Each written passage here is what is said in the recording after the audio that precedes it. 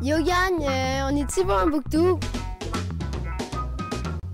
euh, on va vous présenter euh, la route 175.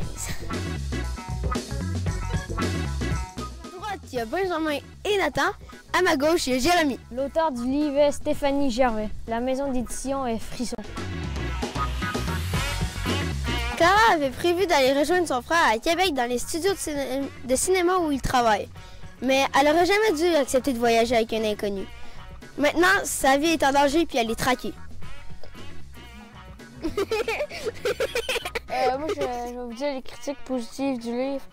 Euh, J'ai beaucoup aimé parce qu'il y avait beaucoup de suspense. On voulait toujours lire toutes les pages après parce qu'il y avait toujours de quoi qui, genre, qui nous intriguait. Comme.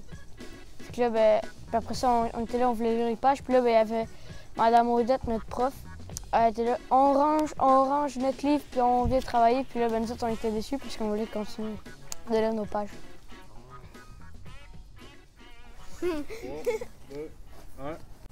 Bye la gang, si vous avez.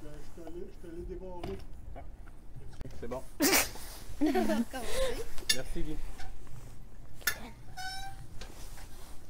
Bye la gang, si vous avez aimé le book team, likez et abonnez-vous.